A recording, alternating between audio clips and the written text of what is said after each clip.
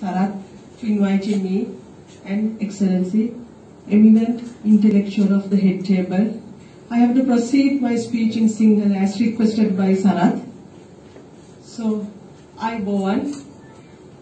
මම හිතනවා මගේ කාර්යභාරය අද දවසේ මාතෘකා වෙලා තියෙන විදේශ ප්‍රතිපත්ති ගැන කතා කරන එක නෙවෙයි.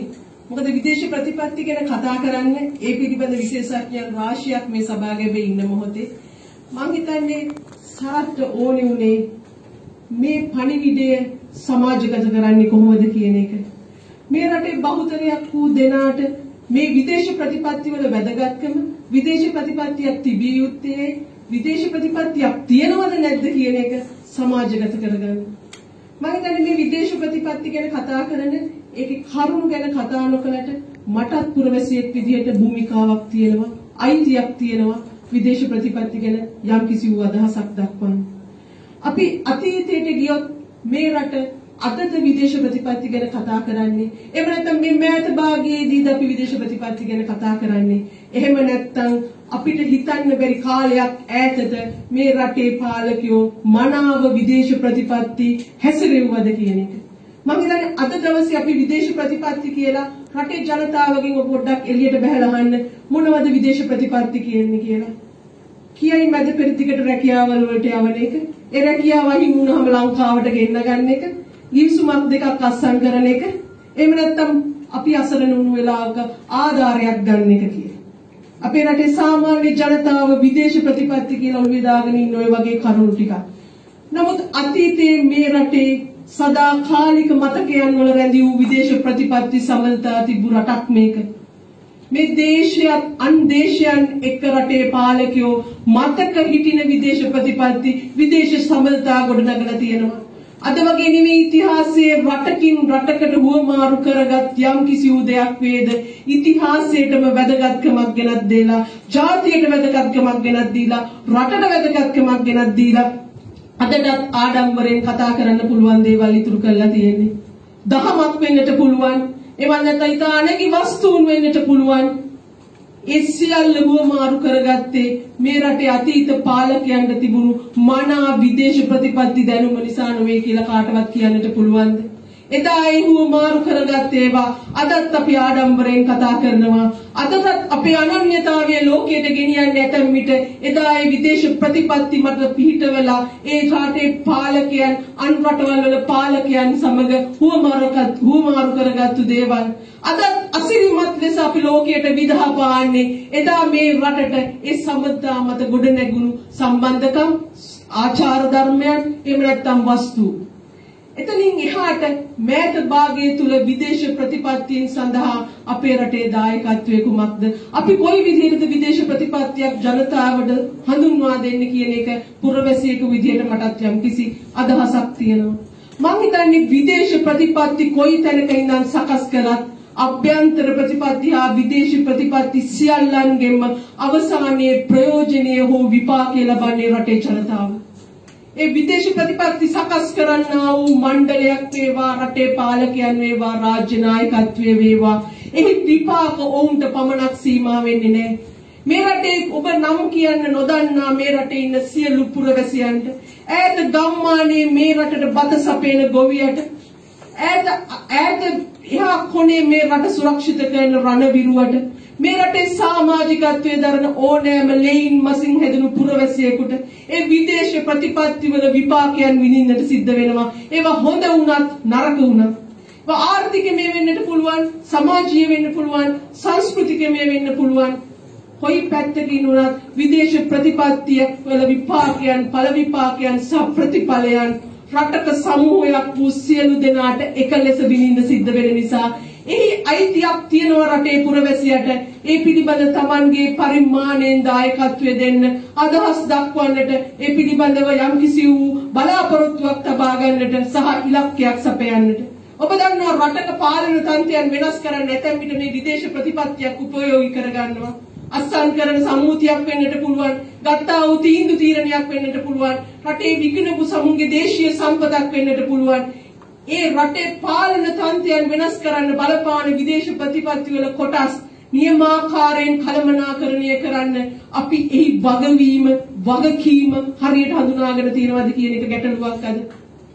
රටක් ලෝකයේ අභ්‍යන්තර ප්‍රතිපත්ති වලින් රටක් ජීවත් වෙනවා වගේම මේ රට ලෝක සිටිය මේ කුමන තත්වයක් උසුලන්නේද ලෝක සිටියම තුල තමුන් සුරකින්නේද ලෝක සිටියම තුල තමුන්ගේ අනන්‍යතාවය ආරක්ෂා කරගන්නේද කියන සියල්ල රැඳී පවතින්නේ විදේශ ප්‍රතිපත්ති මත මම හිතන්නේ විදේශ ප්‍රතිපත්තියක් සරත් මුලදීම කතා කරනකොට කිව්වා රටට කැඩපත කියලා පෙර ගමන් කරු කිව්වා එහෙනම් මේ වැදගත්කමට ප්‍රමුඛතාවයට අපි කොයිතරම් බරක් දෙනවද කියන එක අනිවාර්යෙන්ම අපි සලකලා බලන්නට ඕනේ.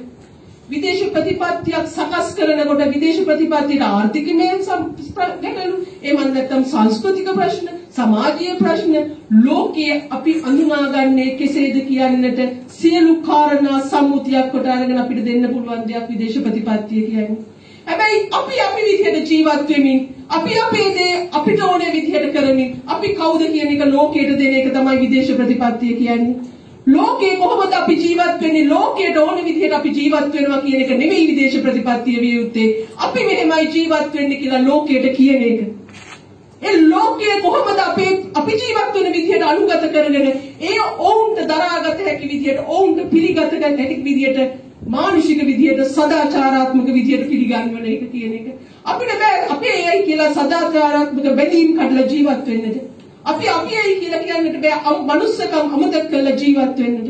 අපි අපි අය කියලා අපිට බෑ. අපිට ඕනෑම විදිහකට ජීවත් වෙන්න මානුෂික බැඳීම් වලින් බිඳ වැටෙන තැනකදී. ආර්ථික මේ වේවා මානුෂික වේවා සමාජීය වේවා. අපි අපේ සීමාවන් දැනගත යුතුයි. මොකද ඒ සීමාව අවසාන වෙන්නේ අනිකාගේ නිදහස ළඟින් නිසා.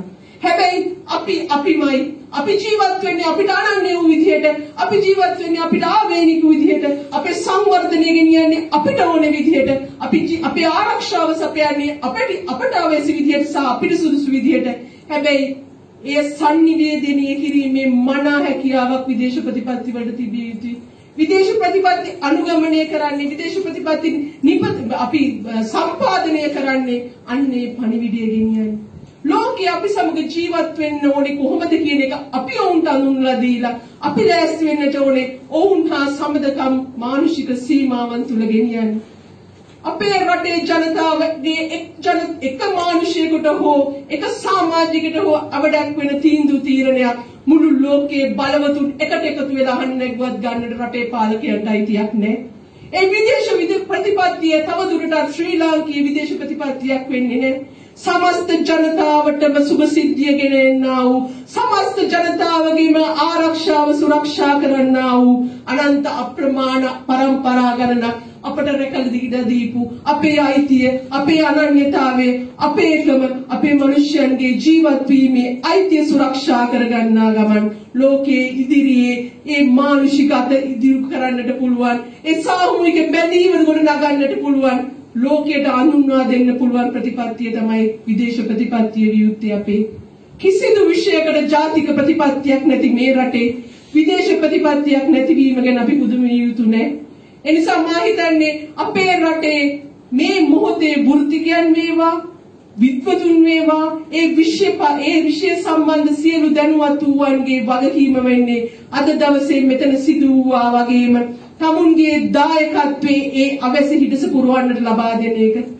අන්නේ හිඩස පුරවමින් අනාගතය තුලදී රටක ගොඩනැගෙන විදේශ ප්‍රතිපත්තියට දායකත්වය ලබා දෙන්න මේ සියලු විද්වතුන්ගේ සහාය රටේ පාලකයන්ට ගන්නට සිද්ධ වේවි.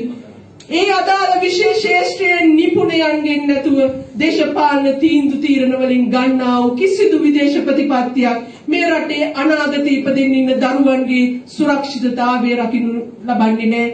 ඒ වගේම තමයි රටක් විදිහට ලෝකයේ තුල අපි බලාපොරොත්තු වෙන්නා වූ කැපිපෙනීම වේවා අපේ නිදහස් වෛරීභාවය වේවා මොන වචන වලින් කිව්වත් අපි රටක් තුල තවත් සමාජිකයෙක් විදිහට ජීවත් විය යුතුමයි. ඔවුන් සමග සහයෝගයෙන් ජීවත් විය යුතුමයි. අපි තනිව නැගී සිටින බව වෙනම කතාවක්. නමුත් සහයෝගයෙන් ජීවත් නොවි මේ ලෝකයේ තුල රඳා පවතින්නට බෑ. හැබැයි ඒ සහයෝගය යන තිරපටින් වහලා රටේ ආරක්ෂාව, රටේ සුරක්ෂිතභාවය, ජනතාවගේ ස්වාධීනත්වය බිලිදෙන්නට කිසිවෙකුටවත් අයිතියක් නැහැ. ඒ කිවිසුමක් වේවා, ඒ සම්මුතියක් වේවා, ඒ ලියවිල්ලක් වේවා, කටවචනයක් වේවා කිසිවෙකුට මේ මාතෘ භූමිය තුල එවන් වූ කටයුතු කරන්නට කිසිදු අවකාශයක් අතීතය වර්තමානය අනාගතය මේ පොළොවේ ඉපදෙන කිසිවෙකුගෙන් ලැබෙන්නේ නැහැ. නමුත් මේ සඳහා වූ විද්වතුන්ගේ ඒ ලැබෙන්නා වූ දායකත්වය නොලබා ඒ විද්වතුන්ගේ තමුන්ගේ දැනුම පරිවර්තනය නොකරවා තමුන්ගේ ඊළඟ බල පැවැත්ම උදෙසා යමෙක් තීරණ ගන්නේ නම් එයට විරුද්ධ වෙන්නට මේ විද්වත් මණ්ඩලය සමග අපි සියලු දෙනාම එකට එකතු විය යුතුයි.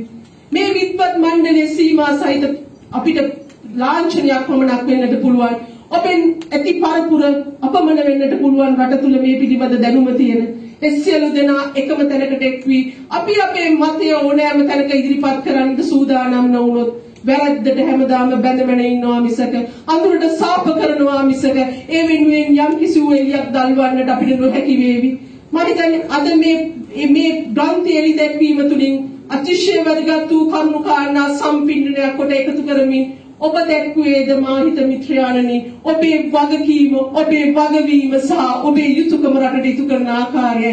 ඒ අපි සියලු දෙනාටම ශක්තියක් අපි සියලු දෙනාටම මඟ පෙන්වීමක් සියලු දෙනාටම ධෛර්යයක් සංගම නොසිට තමුන්ගේ යුතුයකම ඉෂ්ට කරන්නට තමුන්ගේ භූමිකාව ඉෂ්ට කරන්නට පෑන වේවා වචනීය වේවා තමුන්ගේ තෙලිතුඩ වේවා තමුන්ගේ සංකල්පනා වේවා. හැකි උපරිම ලෙස යොදා ගනිමින් ඒ සඳහා දායකත්වය ලබා දීම විද්වතුන් වියතුන් සියලු දෙනාගේම වගකීමයි. අප වියතකයි අප විද්වතකයි අපි සමාජයේ ඉහළ ස්තරයකයි අපි අපේ මානෙ හිරගෙන අපේ යුතුයකම භූමිකාව ඉෂ්ට නොකරන තාක්කල් ඒ රික්තකයේ පිරවීම සඳහා ඒට සුදුසුකම් නොලබන්නෝ පැමිණෙනු ඇත.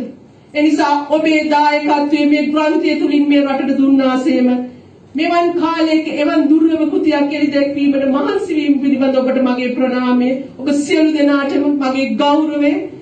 නමුත් එය මෙතනින් නිමා විය නොහැකි. එය යථාර්ථයක් වෙලා මේ පොළොවට ක්‍රියාත්මක වන යථාර්ථයක් බවට පත් කරන කරගන්නා තෙක් ඔබත් සමග අපි සියලු දෙනා එකට සිටිනවා.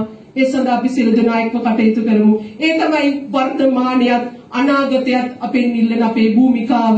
අතීතය තුලදී අපිට හිමි වූ භූමිකාව ඒ ඉදිරියටත් කරන්නට ඔබටත් අපටත් සියලු දෙනාටම ශක්තිය ලැබේවා ධෛර්යය ලැබේවා මඟ පෙන්වීම ලැබේවා. සියලු දෙනාටම තෙරුවන් සරණයි.